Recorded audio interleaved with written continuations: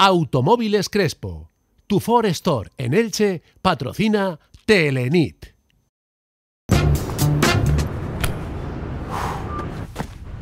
One, two, three, hit it. Watch me. Hey! I got something that makes me want to shout. Watch me. I got something that tells me what it's all about. I got soul, and I'm super bad. Presentamos el Ford Mustang Mach-E 100% eléctrico. Ven a verlo Automóviles Crespo, tu Ford Store en Elche.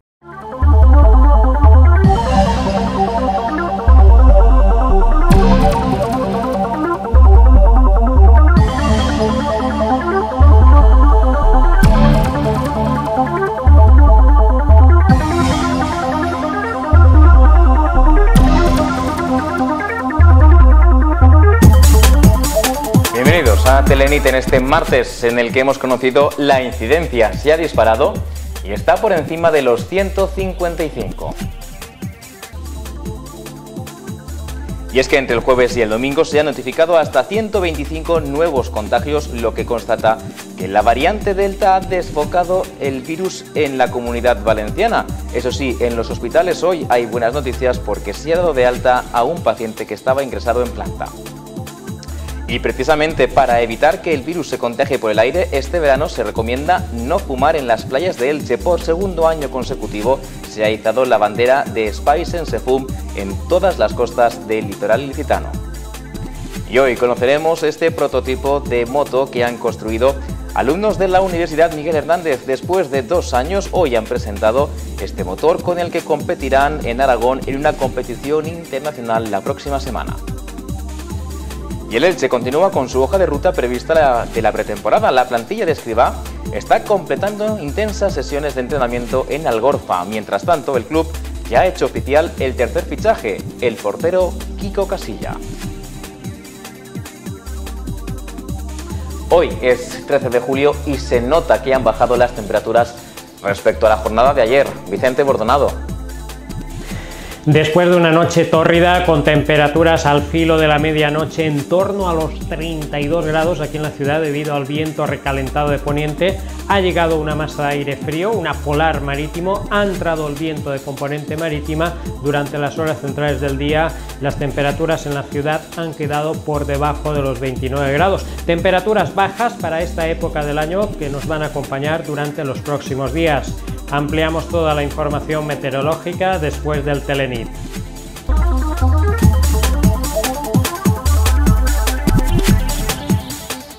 La variante Delta del virus está disparando los contagios en la comunidad valenciana cuando ya creíamos que estábamos en el final de la pandemia. Mientras que en 31 municipios, entre ellos San Vicente del Raspeig, se ha decretado el toque de queda, en Elche, de momento, nos libramos, aunque la tasa de incidencia sigue creciendo y ya supera los 155. Y todo después de notificarse hasta 125 contagios entre el jueves y el domingo. De hecho, en ese fin de semana, como les contamos ayer, hizo que aumentara el número de pacientes ingresados en los hospitales y hoy hemos conocido que una de esas personas ha sido dada de alta, por lo que quedan siete ingresadas, todas ellas en planta. En cuanto a la vacunación, continúa el ritmo de semanas anteriores, están citando a los que tienen 36 años y esta semana se espera alcanzar las 122.000 personas con al menos una dosis. Y mientras continúan las medidas preventivas para evitar más contagios, pero sobre todo para aumentar la seguridad y así atraer el turismo hasta nuestro municipio. De hecho, por segundo año en las playas de Elche no se podrá fumar para evitar que haya humo que pueda contener el virus y esté en el aire. Eso sí, no habrá sanciones, sino que es una recomendación que desde hoy, Ana López, se está haciendo en todas nuestras costas. Cuéntanos. Las playas sin humo fue una iniciativa que se puso en marcha el año pasado en la playa del Carabasí. Tan buena acogida tuvo que este año se ha decidido ampliar esa medida a todo el litoral ilicitano. Esta sí no tendrá carácter sancionador, pero sí de conciencia y es que el objetivo de esta campaña es que aprendamos que el tabaco no solo es perjudicial para el medio ambiente, sino también para nuestra salud y la importancia de que apartemos de nuestras vidas estos hábitos que son nocivos, especialmente cuando estamos rodeados de niños, para causarles un buen ejemplo unas playas que creo que gracias a, estas iniciativas como esta vamos a reducir muy, de manera muy, muy importante el impacto medioambiental que provoca la contaminación por colillas y también, como no, el, impacto que tiene sobre la salud el consumo de tabaco. si cuidem el planeta ens cuidem també a nosaltres i esta és una de les tasques que se fa en les platges sense fum per a que no contaminem. Però a més és que, que no contaminem a la resta de persones que estan al nostre costat, que no ens contaminem a nosaltres i una qüestió fonamental de la que forma part esta campanya és que les persones adultes hem de tindre clar que som un model per a la gent jove, per als xiquets i xiquetes. I quan estem fumant davant de xiquets i xiquetes, el model que estan eh, veient no és el correcte, perquè després ens imiten en Más asuntos. Las ayudas del plan paréntesis destinadas a pymes y micropymes están disponibles desde hoy en ese plan 3. Podrán solicitarlas a aquellas empresas con menos de 10 trabajadores y autónomos que no hayan recibido las ayudas de las dos primeras convocatorias. La partida total es de 2,2 millones de euros, de las que se repartirán 1.200 euros por negocio, más 100 euros adicionales por trabajador. En este caso, eh, los sectores están todos los sectores abiertos. Mm, lo único, la única limitación son los que ya hayan percibido del plan 1 y del plan 2 hayan percibido los ingresos. Ahora todos los, eh, todas las empresas que tengan menos, de 10 trabajadores pueden solicitar esta ayuda que será, puedan pedir hasta el 26 de julio desde la página web del ayuntamiento sede.elche.es. El ayuntamiento de Elche, el ayuntamiento de Elche ha destinado 2,25 millones de euros, 2,2 millones de euros bueno, cambiamos de tema y nos vamos hasta el mercado central porque, como era de esperar, el BP ha cuestionado la decisión del equipo de gobierno de convertir el provisional en definitivo. José Navarro ha recordado al alcalde que en 2015 tachó esa ubicación de vandalismo medioambiental y ahora quiere consolidar eso sin preguntar a los vecinos si quieren perder ese jardín. La decisión del Gobierno de convertir el mercado provisional en definitivo ha levantado las críticas del Partido Popular, que recuerdan a González que en 2015 se opuso a la construcción del edificio en esa ubicación y llegó a tildarlo en redes de aberración urbanística. Es que toma esta decisión, toma este acuerdo el señor Carlos González, el que era por aquel entonces un defensor a ultranza y un activista de mantener el espacio verde por aquel entonces y el que situaba, situaba por aquel entonces como opositor a la decisión de instalar allí el eh, emplazamiento del mercado central. Recordarán todos ustedes los tweets que por aquel entonces el señor Carlos González, alcalde, publicaba en sus redes sociales en contra de la infracción urbanística y la aberración calificaba por aquel entonces de la instalación de un emplazamiento definitivo por aquel entonces y que este mismo señor y su equipo de gobierno quieren hacer ahora definitiva. El portavoz popular ha llamado chaquetero al alcalde por criticar esa ubicación provisional y ahora querer consolidarla como definitiva, y además sin haber preguntado a los vecinos de la zona si están dispuestos a perder esa zona de jardín para siempre. Hablamos ahora de agua porque ayer el presidente de la Generalitat se reunió con Javier Berenguer para hablar del trasvase y lo hicieron en el marco, en el mismo día en el que se presentó un informe en el que se asegura que los técnicos que están recomendando ese recorte del Tajo al Segura se han basado en un estudio que tiene datos desfasados. La razón por la que se va a mandar menos agua al Segura es para mantener unos caudales ecológicos en la cabecera del Tajo, pero según revela un informe del catedrático de Ingeniería Hidráulica de la Universidad Politécnica de Madrid, Luis Garrote, los técnicos han utilizado datos no actualizados de lluvia para calcular las aportaciones de agua a los embalses de la cabecera.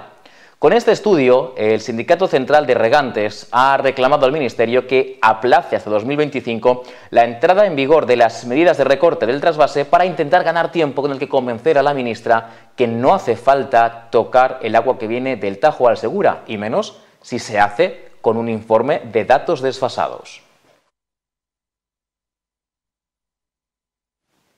Como decimos, con este contexto, Chimo Puig se reunió ayer con Javier Berenguer, presidente de Riegos de Levante, para explicarle que el Consejo está negociando con el Gobierno la eliminación del tasazo que se paga por el mantenimiento del trasvase, llegue o no llegue agua del Tajo al Segura. Eh, además, Berenguer le pidió al presidente Puig que vuelva a posicionarse en contra del recorte del trasvase y de renunciar a cualquier tipo de que se envíe menos agua. Chimo Puig ha reiterado la posición del Consejo de seguir reivindicando el trasvase Tajo Segura, asegurando que no se va a renunciar a los volúmenes de agua necesarios del trasvase. Al mismo tiempo ha destacado la necesidad de que se ejecuten las inversiones previstas, así como armonizarlas para garantizar los recursos hídricos a la provincia de Alicante a precios razonables ante cualquier modificación del trasvase. Javier Berenguer, por su parte, pidió al jefe del Conseil que defienda que el trasvase es insustituible a todos los niveles y, por tanto, no puede haber recortes de caudal para regar. Le dijimos que lo que queríamos era que saliera diciendo que, que lo que es irrenunciable es el agua que nuestra provincia necesita del trasvase Tajo Segura para regadío. Esto fue así, así lo dijo y creo que de alguna forma vamos avanzando en que nuestro presidente cada vez tiene más argumentos para defendernos, ¿no? Estamos hablando de, muchas familias que dependemos del trasvase Tajo Segura y además eh, que estamos produciendo alimentos y además que tanto se han visto tan necesarios y sobre todo ahora con esta pandemia, ¿no? Y hemos demostrado que hemos seguido trabajando para, para seguir produciendo estos alimentos que tanto necesitamos, ¿no? Con lo cual creo que sí, que el presidente Chimo Puig va a defender que esos caudales ecológicos no suban hasta el nivel de 8,65, que ahora encima nos han subido un poquito, porque eso evidentemente estaríamos hablando de la ruina total.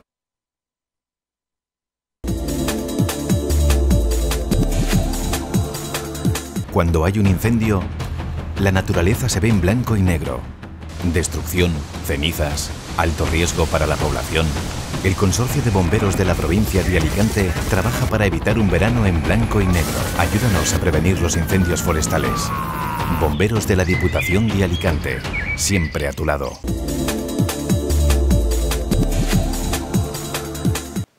Seguimos en Telemi para contarles que desde, la Asociación Bolén Palmerar denuncian que todavía no se haya aprobado la nueva ley del palmeral que llevan solicitando y está sumergida ahora mismo en trámites burocráticos desde hace cuatro años.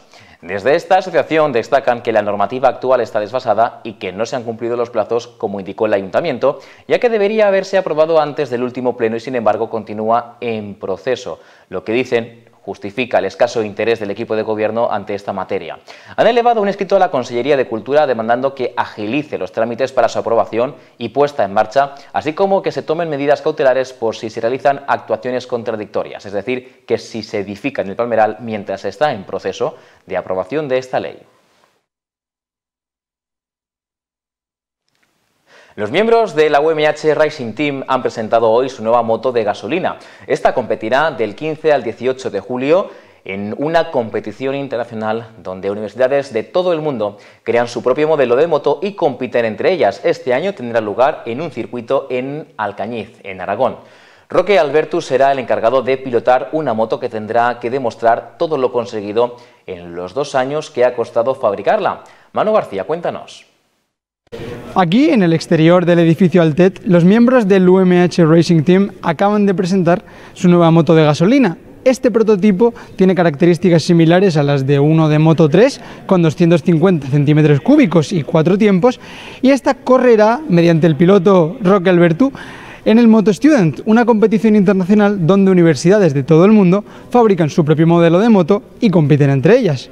Este año tendrá lugar en el Motorsport Aragón, un circuito donde demostrarán lo que se ha trabajado en estos dos años que ha costado tener el modelo.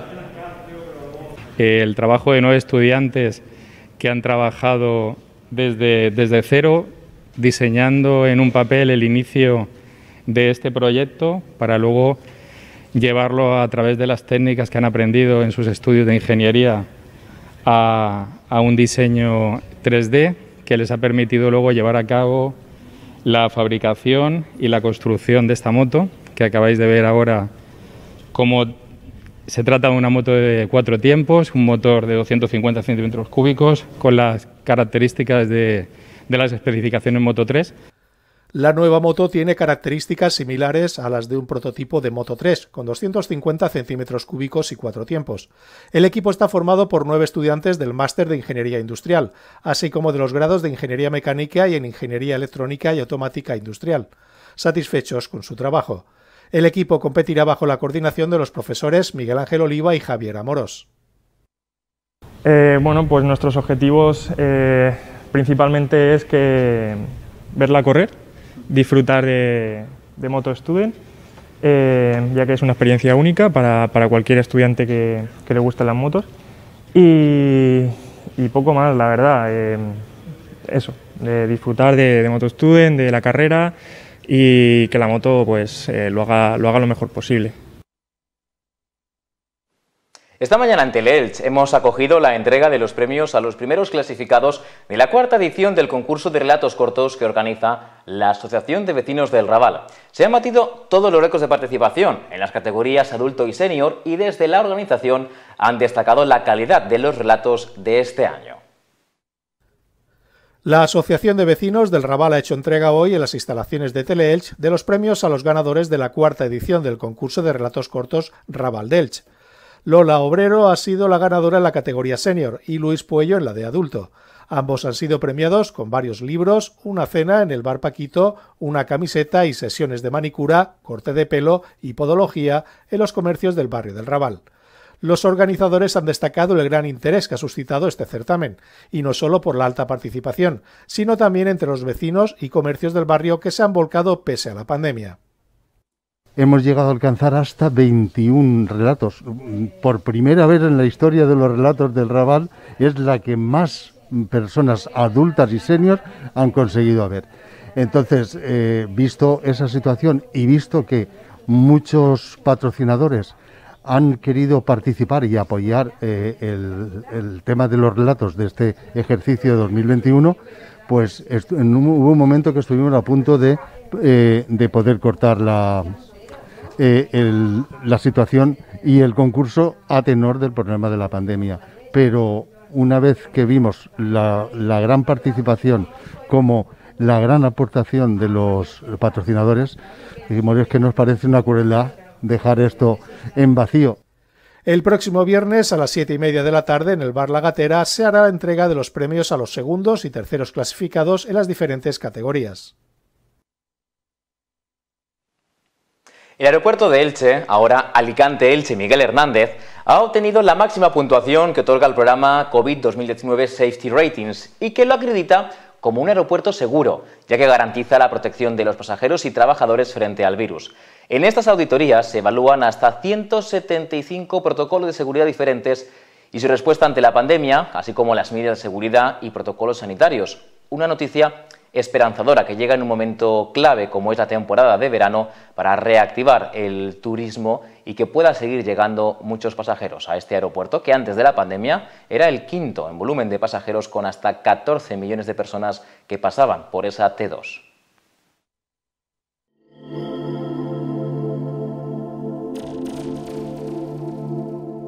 AN Dental patrocina el deporte.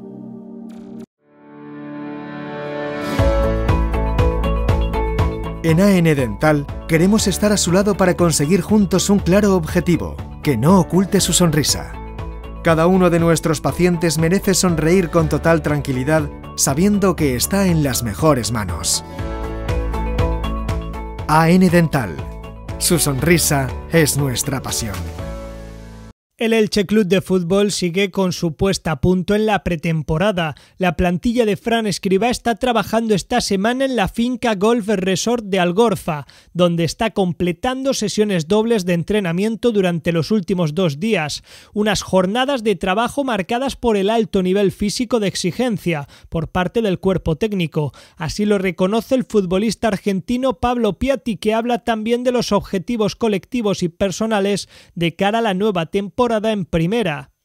No, bien, positivas. Eh, estamos empezando a tener contacto con, con, los compañeros, tener más, participación con la pelota eso y eso viene bien. Eh, sobre todo empezar a convivir también con el calor este que no es fácil, pero evidentemente hay que sobreponerse ante esta situación nada más. Están siendo intensos, están siendo interesantes, sobre todo a la hora del aspecto físico que lo necesitamos bastante, pero es lo que te digo, eh, se puede sufrir un poco ahora, pero después se agradece. Muy contento, muy feliz de poder empezar prácticamente de cero eh, con el equipo y evidentemente con muchísimas ganas de, ayudar y, bueno, de que empiecen a llegar los amistosos para, para tener más eh, sensación de, bueno, de participar con el equipo. Ojalá que positiva y esperemos que menos sufrimiento que el año pasado. Eh, pero bueno, todavía queda muchísimo. Queremos ir eh, día a día, por así decirlo, porque necesitamos todavía trabajar en varios aspectos para llegar en las condiciones más óptimas del partido de liga. El primer amistoso de pretemporada para el Elche será el próximo domingo a partir de las 10 de la mañana en Pinatar Arena ante la Tromitos de la Superliga griega. Por otro lado, respecto al mercado de fichajes, el club ha hecho oficial la cesión del portero Kiko Casilla, procedente del Leeds United. El guardameta catalán de 34 años ha pasado por Real Madrid, Español, Cádiz y Cartagena, antes de recalar en 2019 en Inglaterra, a las órdenes de Marcelo Bielsa. Con el Leeds United, Kiko Casilla logró el ascenso a la Premier, pero durante la última temporada apenas ha tenido participación, por lo que ahora llega al Elche para aportar su experiencia compromiso, talento e ilusión al proyecto franjiverde. Así las cosas, Kiko Casilla y Edgar Badía competirán por un puesto en la portería, una posición que queda bien cubierta a falta, eso sí, de que se resuelva el futuro de Badía, cuya continuidad no está asegurada. Por último, destacar que el propietario Cristian Bragarnik ya está en Elche tras estar durante el último mes en Argentina, junto a su familia y siguiendo muy de cerca la celebración de la Copa América. Una vez de vuelta, el máximo mandatario del club ilicitano manejará las operaciones en el mercado de fichajes desde Elche, una tarea de la que ya se estaba encargando vía telemática desde su país, en continuo contacto con el director deportivo Nico Rodríguez y con el entrenador Fran Escribá. El club todavía tiene que abordar como mínimo de 7 a 10 incorporaciones para su primera plantilla.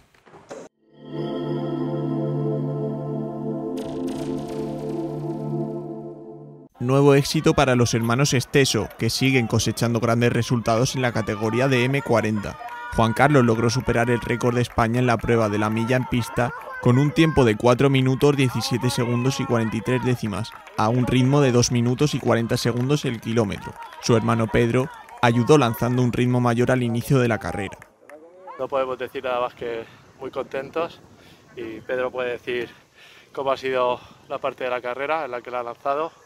Y nada, bueno, Juan Carlos como siempre, dando el máximo, corriendo como bien sabe, demostrando todo lo que ha trabajado no durante esta temporada, sino durante toda su vida y refrendando con una marca de 4.17 en la milla, a un ritmo de 2.40 al kilómetro y mantenerlo durante 609 metros más. Así que nada, que se lo merece, que muchas gracias a todos por vuestro apoyo. Unos atletas que siguen poniendo el atletismo máster ilicitano en lo más alto del panorama nacional.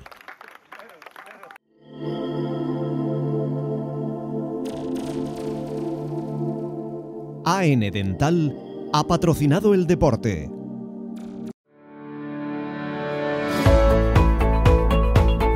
En AN Dental queremos estar a su lado para conseguir juntos un claro objetivo, que no oculte su sonrisa. Cada uno de nuestros pacientes merece sonreír con total tranquilidad sabiendo que está en las mejores manos. AN Dental. Su sonrisa es nuestra pasión. Hasta aquí el informativo, pero no las noticias, que continúan en nuestra página web teleelch.es, en redes sociales y nuestra aplicación móvil gratuita para iPhone y Android. Recuerden que la información volverá a esta casa a partir de las 7 de la mañana en Teleelch Radio, en el 101.4 de la FM y aquí en Telenit a la misma hora de siempre.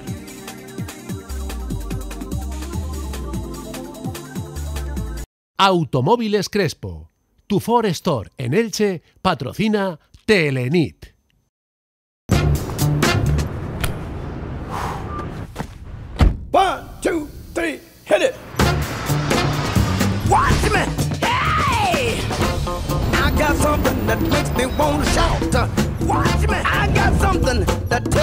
It's all about. I got soul the bad. Presentamos el Ford Mustang Mach-E 100% eléctrico. Ven a verlo a Automóviles Crespo, tu Ford Store en Elche.